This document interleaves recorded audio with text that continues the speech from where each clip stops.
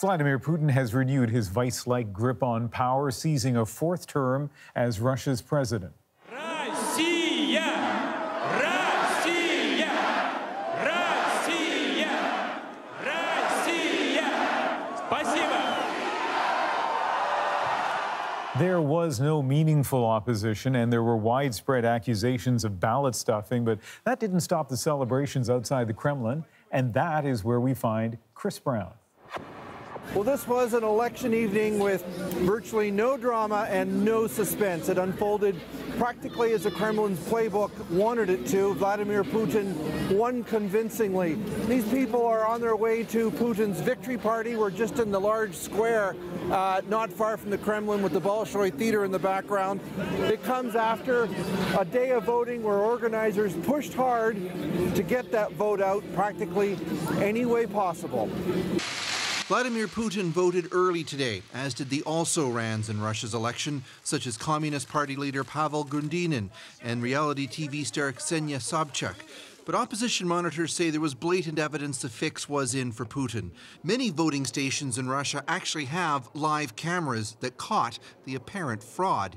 In this example from Moscow and confirmed by the local election committee, a woman appears to stick ballot after ballot into the box.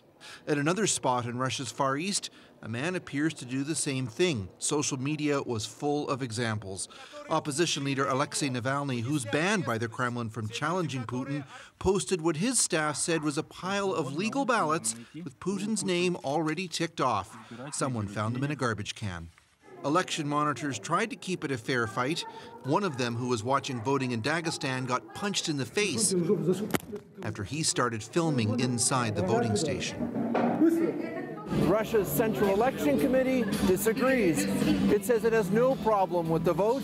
It hasn't received any official complaints from any candidates. And certainly those here tonight aren't bothered about it either. Порадуйтесь вместе с нами.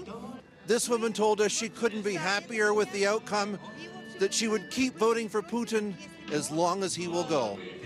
There was one surprising development after the polls closed and it was live streamed on the internet. Alexei Navalny and Ksenia Sobchak, the two opposition candidates, attacked each other with Navalny accusing Sobchak of accepting money from the Kremlin and trying to steal away his supporters.